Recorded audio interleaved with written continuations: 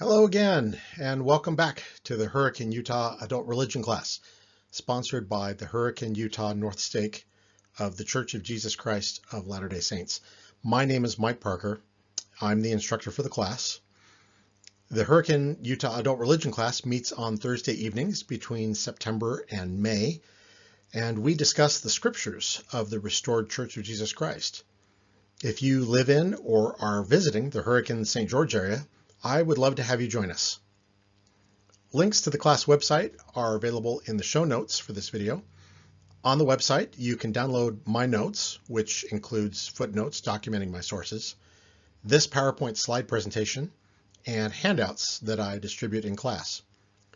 Please note that this YouTube channel and the class website are not official sites of the Church of Jesus Christ of Latter-day Saints, the Hurricane Utah North Stake, or any other church unit or department.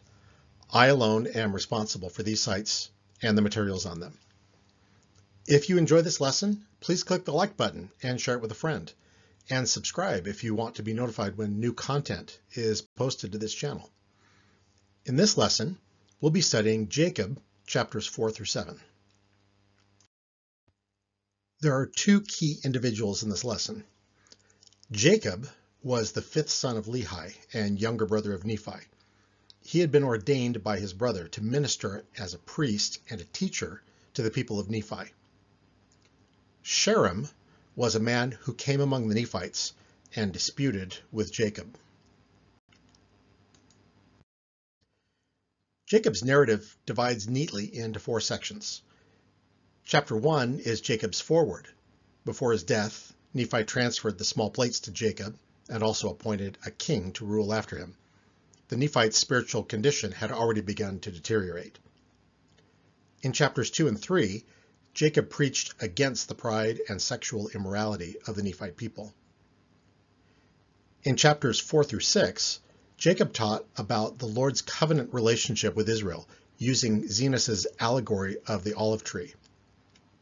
Chapter 7 is Jacob's afterword, in which he refuted the arguments of Sherem, who sought to overthrow the doctrine of Christ. In this lesson, we'll discuss Jacob's second sermon and his encounter with Sherem. Jacob taught his people in the Nephite settlement named after his brother Nephi.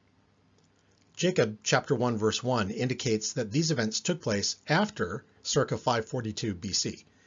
Jacob was at least 50 years old by this time and probably much older than that by the time he encountered Sherem. Jacob's second discourse in chapters 4 through 6 concerns the Lord's relationship with Israel. Jacob was concerned that the words that he had spoken and the things he and his people had written must perish and vanish away. He was so concerned that these important messages would be lost to his descendants and to the Lamanites who he called our beloved brethren, that he labored diligently to engraven these words upon plates, despite the difficulty in doing so, hoping that they will receive them with thankful hearts and look upon them that they may learn with joy and not with sorrow, neither with contempt concerning their first parents. In the Book of Mormon, the term first parents usually refers to Adam and Eve, but here it refers to Lehi and Nephi, who were the ancestors of the Nephite and Lamanite peoples. Jacob explained that all the holy prophets of Israel believed in Christ and worshiped the Father in his name, and also we worship the Father in his name. As evidence of this, he pointed to Abraham's obedience to God in offering up his son Isaac which is a similitude of God and of God's only begotten Son. The teachings about Christ in the Book of Mormon are markedly clearer than those in the Old Testament. It's possible that Jacob had access to early Israelite records that were clearer than what the Jews of Lehi's time had. In verse 14, Jacob said that God hath taken away his plainness from the Jews. It's also possible that Jacob interpreted Israelite history through the lens of revelations given to the Nephites. He had previously declared that the name Christ was revealed to him by an angel, so the name by which the Old Testament prophets worshipped him may have been something different. It's possible that Jacob meant that the prophets worshipped El, the Most High God, in the name of Yahweh, his son to whom he appointed Israel as his people. If so, Jacob was doing the same thing that New Testament writers like Paul did. He found indirect evidences of Christ in the Old Testament and pointed to them as evidence that the prophets knew and worshiped Christ. This is why Jacob wrote that the Nephites searched the writings of the prophets and had many revelations of their own that gave them greater understanding and a faith so powerful that even nature obeyed their commands through the grace of the Lord God. Jacob used lofty language to describe God's majesty and power in order to show his readers that they shouldn't try to counsel the Lord, but rather to take counsel from his hand and be reconciled to him through the atonement of Christ. Jacob taught that the Spirit speaketh truth and lieth not. But the people of Israel were a stiff-necked people, and they despised the words of plainness, and killed the prophets, and sought for things that they could not understand. So God hath taken away his plainness from them, and delivered unto them many things which they cannot understand. He then prophesied, quote, And now I, Jacob, am led on by the Spirit unto prophesying. For I perceive by the workings of the Spirit which is in me, that by the stumbling of the Jews they will reject the stone upon which they might build, and have safe foundation. But behold, according to the Scriptures, this stone shall become the great, and the last, and the only sure foundation upon which the Jews can build. And now, my beloved, how is it possible that these, after having rejected the sure foundation, can ever build upon it, that it may become the head of their corner? Behold, my beloved brethren, I will unfold this mystery unto you if I do not, by any means, get shaken from my firmness in the Spirit and stumble because of my over-anxiety for you. Unquote. That's Jacob chapter 4, verses 15 through 18. Verses 16 and 17 speak of the sure foundation, which is an allusion to Isaiah 28, verse 16. Quote, Behold, I lay in Zion for a foundation, a stone, a tested stone, a precious cornerstone, a sure foundation. Unquote. Verse 17 also alludes to Psalm 118, verse 22. Quote, the stone which the builders refused or rejected is become the head of the corner. Unquote. Both are prophecies of God's Messiah, who is metaphorically the foundation and the cornerstone of Israel and the Church of Jesus Christ. How is it possible, Jacob asked, that the Jews, having rejected the sure foundation, can never build upon it, that it may become the head of their corner? He promised to unfold this mystery, and he did so by quoting Zenos's allegory of the olive tree. The allegory of the olive tree is an example of the scriptural use of figurative language. David Rolph Seely, professor of ancient scripture at Brigham Young University, explained, quote, Figurative language is an integral part of all of the Near Eastern literary traditions from the very earliest times. A prominent literary figure is comparison. In a simple form, it is called a simile, or a metaphor, and in a more developed and extended form, it is called a parable, or an allegory. Briefly, modern theory defines a simile as a comparison of two dissimilar things, using the words like or as. A metaphor is a comparison that finds likeness between two dissimilar things without using like or as. A parable is a narrative containing an extended simile or metaphor intending to convey a single thought or message. An allegory is also an extended simile or metaphor, differing from a parable in that each metaphorical element of the narrative is meant to correspond to a specific counterpart. Unquote. There are numerous examples of allegory in Scripture, including ones that use plants. Isaiah wrote a poetic song about a vineyard in which the vineyard of the Lord of hosts is the house of Israel, and the men of Judah his pleasant plant. In John's account of the Last Supper, Jesus declared, I am the true vine, and my Father is the husbandman. His disciples are the branches. Those who abide in him, and he in them, bring forth much fruit, while those who do not abide in him are cast into the fire and burned. In Jesus' parable of the barren fig tree, a man wanted to cut down a non-producing fig tree, but his gardener encouraged him to leave it for one more year and dig and fertilize it to see if it would bear fruit. This parable has some connections to the allegory of the olive tree in Jacob 5. The Apostle Paul used the imagery of grafting of wild olive branches into the root of a tame olive tree as a metaphor for the Gentiles becoming part of the house of Israel. Paul's allegory is similar to the one in Jacob 5, although much shorter. The Book of Mormon uses trees in three extended metaphors. In Lehi's Tree of Life dream, the tree represents the love of God.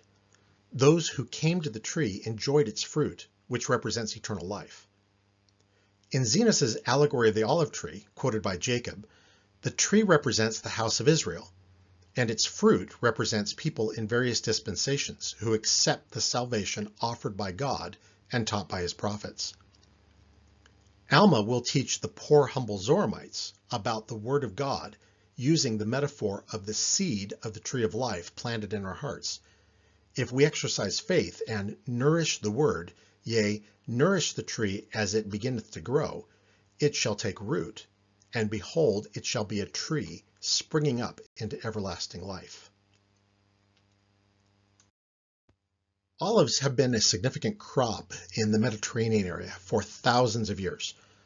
A well-tended olive tree will grow to around 20 feet in height and can produce 20 to 45 pounds of olives each year.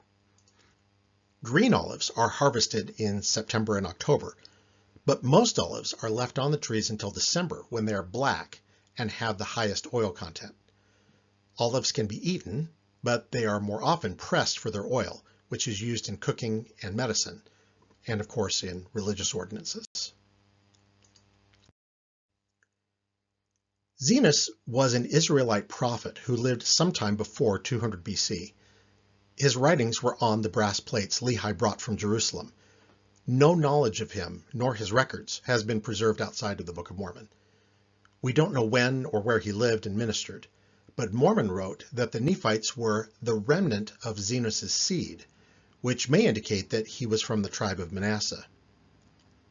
Several explanations have been suggested for the meaning of his name, including flock, stranger, sojourner, and son or descendant of Enos. Zenos is cited or quoted in the Book of Mormon more than any other prophet except Isaiah. Lehi, Nephi, son of Lehi, Jacob, Alma, Amulek, Nephi, son of Helaman, and Mormon all explicitly mentioned Zenos or quoted from or alluded to his teachings. Outside of a few specific interpretive statements, Jacob did not explain the meaning of Zenos' allegory. It seems he simply expected his readers to understand it. This is common among Hebrew prophecy. We'll dissect Zenos' allegory into sections and try to interpret the meaning of its symbols. Zenos' allegory plays out across four time periods. The first period, in verses 3 through 14, represents the people of Israel before the time of Christ. A tame, that is to say, cultivated olive tree, had been nourished in an olive vineyard, but it had grown old and was decaying. Jacob identified the tree as a representation of the house of Israel. The master of the vineyard took action, hoping he could save the tree. He pruned dead and unproductive branches, dug around it so that nutrients and moisture could access the roots, and nourished it with fertilizer. Symbolically, the Lord's actions may represent sending prophets to the people of Israel to teach them and encourage them to be righteous. After many days, the tree began to put forth somewhat a little young and tender branches. But behold, the main top thereof began to perish.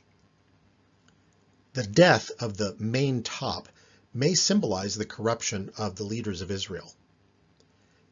Needing to take more drastic action to save the tree, the Lord of the vineyard cut off the dead branches and burned them.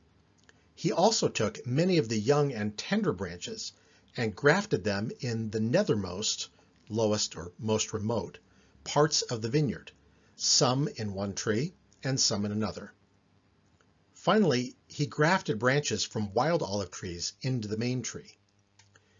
These actions may represent the leaders of Israel being killed the people of Israel being scattered among other nations, and Samaritans and other non-Israelites being brought to inhabit the land of Israel. Grafting is the process of cutting off a branch, called a scion, from a healthy and productive tree, inserting the scion into an exposed stump or limb of a wild or unproductive tree, the rootstock, and tightly wrapping the insertion. Within a few weeks, the scion and rootstock will form a graft union. After a successful grafting, an unproductive olive tree can become productive within a year or two. Grafting branches from a wild tree into a tame tree is not normally done.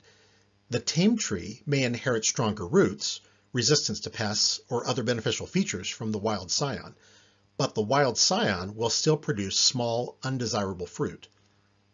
In Zenos's allegory, the Lord of the vineyard was clearly taking unusual action to save this particular tree. The second period, in verses 15 through 28, represents the people of Christ during and after Christ's earthly ministry. After a long time had passed away, the Lord and his servant returned to find that the old tree with the wild branches grafted in had produced a surprising abundance of edible or tame olives. This likely represents the growth the early Church of Christ experienced after Gentiles were permitted to be baptized without first becoming Jews. In the nethermost parts of the vineyard, two trees that had received grafts from the main tree had also produced much fruit, even though one was planted in poor soil. A third tree with good soil had produced some good olives, and some wild olives. These trees represent the scattered people of Israel. The tree with both good and bad fruit represented the descendants of Lehi, some of whom were righteous, and some of whom were unrighteous. The Lord commanded his servant to cut off the bad branches in the last tree and burn them. His servant convinced him instead to continue to prune, dig, and nourish the tree in hopes it might still become productive. This represents the wicked Nephites and Lamanites being spared for a time to see if they would turn to righteousness. The third period, described in verses 29 to 51, takes place during the Great Apostasy. After a long time had passed away, the Lord and his servant returned to the vineyard and found the original tree laden with all sorts of fruit, but all of it was bad because the grafted wild branches had overcome the roots of the tame tree. The lord of the vineyard lamented the loss, but his servant pointed out that the grafted wild branches had nourished the roots of the tree. The Lord responded that the roots thereof profit me nothing, so long as it shall bring forth evil fruit. He said that unless they could find some way to preserve the tree, it would have to be cast into the fire. This represents the apostasy of Christ's original church in the Old World. Christianity spread widely, and some basic fundamental truths persisted. They are alive, and they have not perished, the servant said. But none of the Christian sects retained important key truths of the gospel. The Lord lamented that the tree hath brought forth much fruit, and there is none of it which is good.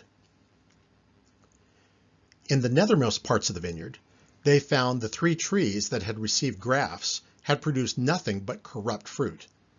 The third tree, which had previously produced both good and bad olives, had gone completely bad because the bad branches had overcome the good ones. The Lord was deeply grieved by this. This represents the apostasy of scattered Israel, including the total destruction of the Nephites and the victory of unrighteous Lamanites in the land of promise given to Lehi and his descendants. The Lord was bewildered by this great loss, but his servant explained what had gone wrong in Jacob chapter 5 verses 47 and 48. The Lord of the vineyard said unto the servant, quote, But what could I have done more in my vineyard? Have I slackened mine hand, that I have not nourished it? Nay, I have nourished it, and I have digged about it, and I have pruned it, and I have dunged it, and I have stretched forth mine hand almost all the day long, and the end draweth nigh. And it grieveth me that I should hew down all the trees of my vineyard, and cast them into the fire, that they should be burned. Who is it that has corrupted my vineyard? And it came to pass that the servant said unto his master, is it not the loftiness of thy vineyard? Have not the branches thereof overcome the roots which are good? And because the branches have overcome the roots thereof, behold, they grew faster than the strength of the roots, taking strength unto themselves. Behold, I say, is not this the cause that the trees of thy vineyard have become corrupted? Unquote. The servant agreed with the Lord that the roots were good. The failure was not the Lord's fault. Rather, it rested squarely with human beings who rejected the Lord's servants and authority, the strength of the roots, and took strength unto themselves, creating churches that were based upon the principles of men, not God. The Lord commanded that all the trees in the vineyard be cut down and burned. But the servant convinced his master to spare the orchard a little longer. The fourth period found in verses 52 to 77, represents the restoration of the gospel in the last days, the gathering of Israel, and the millennium. The Lord commanded that the branches of the main tree which bore bitter fruit be removed and replaced by grafting back in branches that had been planted elsewhere in the orchard. Likewise, branches from the main tree were taken and grafted into the trees in the nethermost part of the vineyard. From the time of the restoration of Christ's gospel, isolated groups of, scattered Israel have become one with the main body of saints and a worldwide church. These include groups such as the posterity of Lehi in North and South America and other descendants of the scattered tribes of Israel throughout the world. The Lord of the vineyard and his servant called other servants, knowing that the end was drawing near and that it would be their last effort in the orchard they worked vigorously to prune and cultivate the trees. The Lord has sent prophets in the last days, through whom he has worked to help his covenant people bring forth works of faith and righteousness. The covenant people of the house of Israel are found in the Church of Jesus Christ of Latter-day Saints.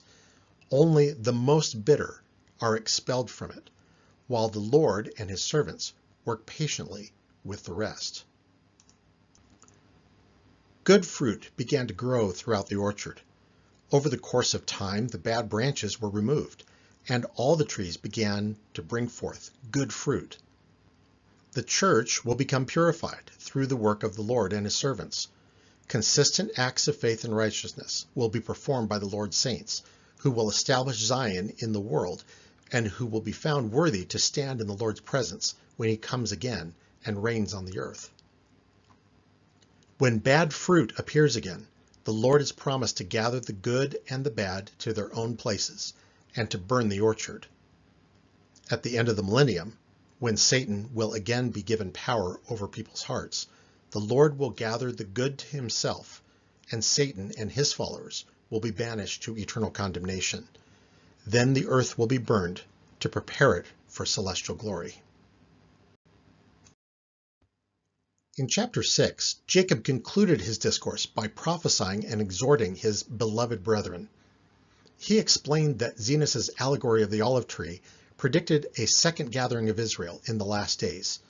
He then praised those who would labor for the Lord and praised God for his mercy. His language in this passage makes multiple allusions to Zenos's allegory. Jacob chapter 6, verses 2 through 4. Quote, And the day that he shall set his hand again the second time to recover his people is the day, yea, even the last time, that the servants of the Lord shall go forth in his power to nourish and prune his vineyard. And after that the end soon cometh. And how blessed are they who have labored diligently in his vineyard, and how cursed are they who shall be cast out into their own place. And the world shall be burned with fire. And how merciful is our God unto us, for he remembereth the house of Israel, both roots and branches and he stretches forth his hands unto them all the day long.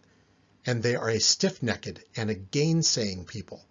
But as many as will not harden their hearts shall be saved in the kingdom of God. Unquote. 95 verses in the Book of Mormon refer to the sinful condition of being hard-hearted. Jacob praised God for his mercy for he is able to save as many as will not harden their hearts from sin and from death. Jacob exhorted his readers to repent and come with full purpose of heart and cleave unto God as he cleaveth unto you, instead of rejecting the words of the prophets concerning Christ and denying God's power in redemption he warned those who rejected God's word would stand with shame and awful guilt before the bar of God and go away into that lake of fire and brimstone. Jacob's conclusion is similar to the one left by his brother Nephi. Repent ye and enter in at the strait gate and continue in the way which is narrow until ye shall obtain eternal life. Oh, be wise. What can I say more? He promised to meet his brethren, and us, his readers, at the last day, before the pleasing bar of God. The last chapter of Jacob contains an account of Jacob's encounter with Sherem, an antichrist. Jacob's words at the end of chapter 6 indicate that he expected his record to conclude with his exhortation to repentance. After some years had passed away, though, something had happened that compelled Jacob to write more on the small plates of Nephi. Jacob 7, verses 1 through 4. Quote, And now it came to pass, after some years had passed away, there came a man among the people of Nephi, whose name was Sherem. And it came to pass that he began to preach among the people, and to declare unto them that there should be no Christ.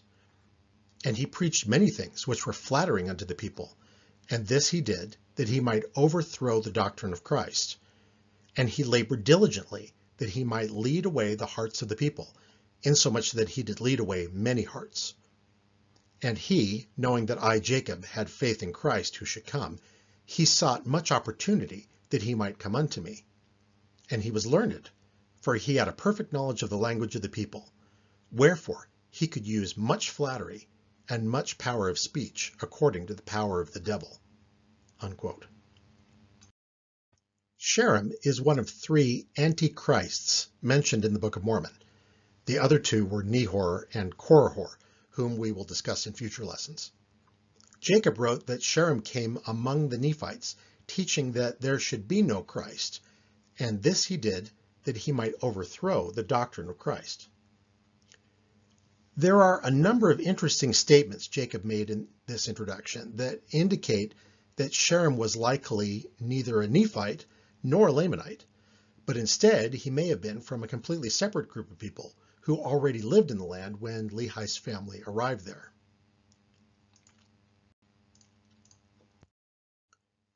Sherem came among the people of Nephi and sought much opportunity that he might come unto Jacob. At this time, the people of Lehi had been in the Americas less than 80 years, there would have been no more than 50 adult males among them. If Sherem was a Nephite, he certainly would have known Jacob his entire life. Jacob described Sherem as having a perfect knowledge of the language of the people. That would be an odd statement if Sherem was a Nephite. Every Nephite would certainly understand their language from birth. It's also unlikely that Sherem was a Lamanite. Jacob would certainly have mentioned that he was a Lamanite, and he wrote later on in chapter 7 that the Lamanites in his time only delighted in wars and bloodshed, and they had an eternal hatred against the Nephites and sought by the power of their arms to destroy them continually. Sherem, the learned philosopher and debater, could hardly have come from such a culture. Sherem declared that Jacob went about much, preaching that which ye call the gospel, or the doctrine of Christ. From this statement, it seems likely to me that Sherem came from some other group that lived in the vicinity of the Nephites, one that was already there when Lehi and his family arrived, and to which Jacob had preached the gospel. Sherem, however, had distorted Jacob's teachings. He believed in a strict version of the law of Moses that had no need for a future Messiah or Christ. Sherem declared to Jacob that there is no Christ, neither has been, nor ever will be. Jacob responded that Sherem did not understand the scriptures, for all the prophets have testified of Christ. Jacob also bore witness that the Holy Ghost had manifested to him the truth of Christ and of Christ's atonement. Sherem demanded a sign that what Jacob had experienced was true. Jacob refused to tempt God by asking for a sign, but he left it to the Lord's will. Sherem was overcome by the power of the Lord and fell to the earth. Whatever the Lord did to Sherem, it was fatal, and Sherem knew that he was going to die. He requested that the Nephites gather to hear his final confession. Sherem publicly recanted everything he had formerly professed. He said that he had been deceived by the power of the devil and feared that he had committed the unpardonable sin by lying to God. After he confessed his sin, he died. The Nephites were so overcome by the power of God that they fell to the earth. Jacob wrote that peace and the love of God was restored again among the people, and they searched the scriptures and hearkened no more to the words of this wicked man. Jacob died in his old age. Before doing so, he gave the plates to his son Enos, bidding us, the readers, a final farewell. That concludes our study of the book of Jacob. If you enjoyed this lesson, please click the thumbs up button to give it a like and leave a comment below. Please subscribe if you'd like to be notified when new lessons are posted to this channel and visit www.huarc.org to download these notes and the slideshow. In our next lesson, we'll discuss the four remaining short books on the small plates of Nephi and then transition to Mormon's abridgment of the large plates of Nephi in the Book of Mosiah. The reading is the books of Enos, Jarom, Omni, and Words of Mormon, plus Mosiah chapter 1. See you next time.